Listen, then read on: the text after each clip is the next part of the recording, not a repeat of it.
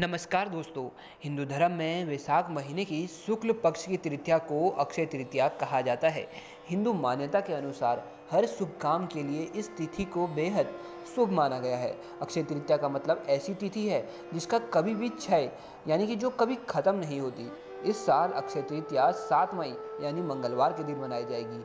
ऐसे में आइए जानते हैं, ऐसी कौन सी वही गलतियाँ हैं जिसे इस दिन करने से माँ लक्ष्मी आपसे नाराज़ हो सकती है? अक्षय तृतीया के दिन दान का विशेष महत्व बताया है। कहा जाता है कि इस दिन दान देने वाले व्यक्ति को दान देने वाली वस्तु का विशेष ध्यान रखना चाहिए। ऐसा न करने पर साधक को शुभ फल मिलने की जगह अशुभ फल मिलने लगता है।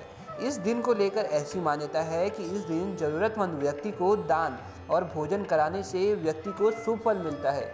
आइए जानते हैं ऐसी कौन सी बातें हैं जिन्हें इस दिन करने से माँ लक्ष्मी आप पर प्रसन्न हो सकती है। क्रोध न करें। अक्षय तृतीया के दिन किसी के प्रति अपने दिल में क्रोध का भाव न रखें। अगर इस दिन भगवान विष्णु और माँ लक्ष्मी की आराधना करने के बाद कोई व्यक्ति अपने मन में दूसरों के लिए बुरे भाव रखता है तो माँ लक्ष्मी उसके पास कभी नहीं ठहरती। अक्षय तृतीया के दिन सुफल फल प्राप्त करने के लिए सोने से बनी कोई वस्तु ज़रूर खरीद लें। और इस दिन घर खाली हाथ लौटना शुभ नहीं माना जाता। यदि सोना खरीदना संभव न हो तो आप अपनी क्षमता अनुसार चांदी या किसी अन्य धातु से या किसी अन्य धातु से बनी माता लक्ष्मी की प्रतिमा अवश्य घर लेकर जाएँ। अक्षय तृतीया के दिन लक्ष्मी पूजन के साथ भगवान विष्णु की पूजा का भी विशेष महत्व है। भगवान विष्णु की पूजा आप इस दिन अवश्य करें और प्रसाद में तुलसी का उपयोग इस दिन आप करें। ध्यान रखें कि प्रसाद में चढ़ाने के लिए तुलसी दल स्नान करके साफ़ कपड़े पहनने के बाद ही तोड़े। अन्यथा व्यक्ति को सुफल की जगह अशुभ फल की प्राप्ति हो सकती है।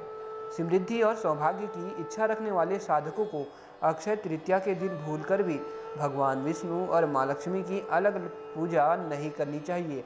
ऐसा इसलिए माँ लक्ष्मी, भगवान विष्णु ऐसा इसलिए क्योंकि भगवान विष्णु और माँ लक्ष्मी पति पत्नी हैं। इस अवसर पर माँ लक्ष्मी और भगवान विष्णु की एक साथ पूजा करने पर ही अक्षय पुण्य की प्राप्ति होती है। तो उम्मीद है आपको हमारी यह जानकारी पसंद आई होगी। प्लीज़ हमारे चैनल को अवश्य सब्सक्राइब करें।